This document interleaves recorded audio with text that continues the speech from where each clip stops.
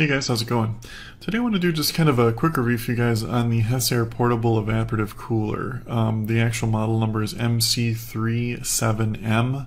Um, I hadn't seen too many reviews on it, so I thought I'd kind of just give you guys my two cents, just based off my experience, and let you know what I thought about it. Um, should mention too, real quick, that I actually found a pretty good deal on it, and I'll put a link in the description below so you guys can check that deal out if you're interested in picking one up for yourself. Okay, so what is this unit, who's it for, uh, and how is it?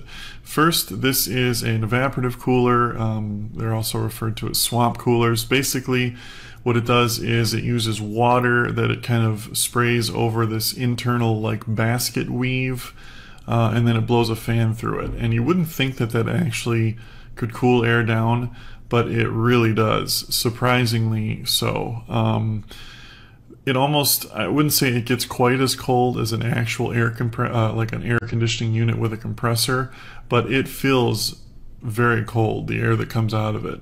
But the beauty of this unit is it moves way way more air uh, than an air conditioner ever could.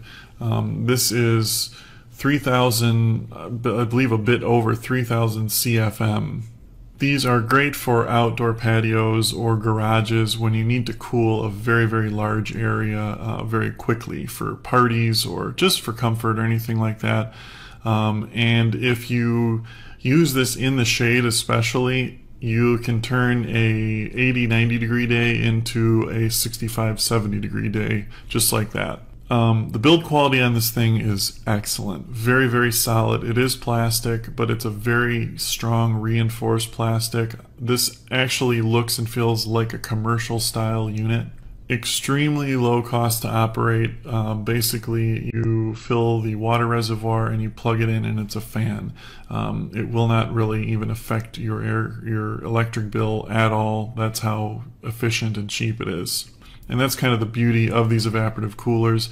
They can cool very large areas very quickly and very, very cheaply. Two different fan speeds, like a high and a low. Um, it's not loud at all, which I really like too. Um, I've seen some of these at different uh, restaurants and things like that, and they're some of them are annoyingly loud. This one is very quiet, but at the same time, it does move a lot of air. It's fairly large in size, but not annoyingly large. Um, it's about 25 inches wide, about 37 inches high, freestanding, and about 17 inches deep. But yeah, um, all in all, uh, this is a great unit, especially for the money. Uh, there's definitely more expensive units out there than this one, but this one, in my opinion, works as good, if not better, than units that cost double as much easily. Uh, anyway, if you have any more questions about it, uh, just leave them in the comments below. Thanks for watching, guys, and have a great day.